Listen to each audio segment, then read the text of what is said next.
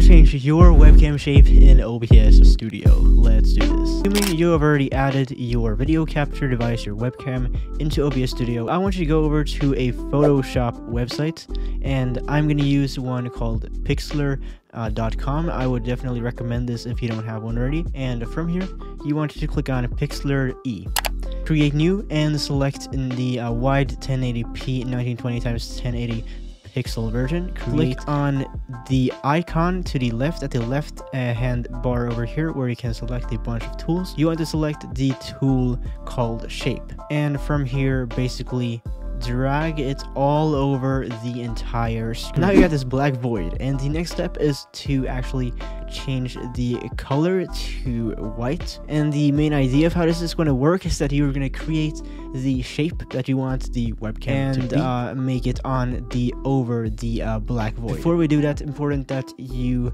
go to layers over here, right click on the black void and click on locked so it doesn't interfere with, with your uh, next step. So change the fill color to white and you can choose whatever shape you want to, honestly speaking. Uh, I'm going to select a circle, that's one that's very popular and I would recommend to at least try out. And from here you can just drag your uh, left click on your mouse and create the shape you want to. So I'm gonna have this one perfect. That looks nice. Then you want to download it. And on Pixlr, you just go to File at the left upper hand corner, save and download it one in whatever uh, resolution you want to. I would go with PNG. Let's go back to OBS Studio. And from here, right click on your video capture device, filters, and I want you to add a effect filter called image mask slash blend.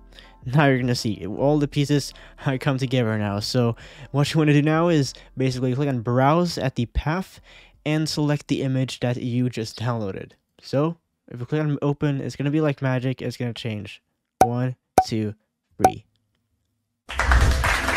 now my webcam is changed to a circular form in a very nice same resolution.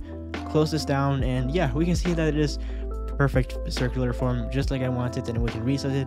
I'll put it like at the corner over here. That looks nice.